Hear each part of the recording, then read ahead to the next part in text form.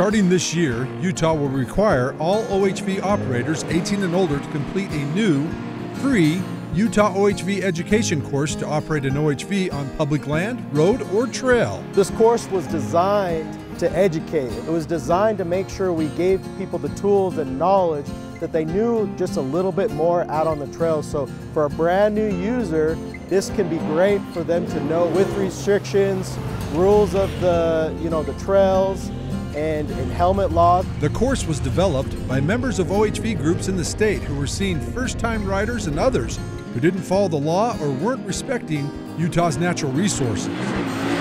Our land managers are seeing a ton of use on these trails and they want to make sure that everyone's riding on designated routes, the width restrictions are that people are following those rules and that they're making sure that they're they're entering these areas with the proper width of machines and, and the biggest impact is the, the impact to our residential areas and our communities affected by OHVs.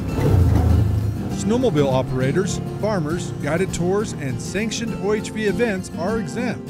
You can take the free course online at ohv.utah.gov.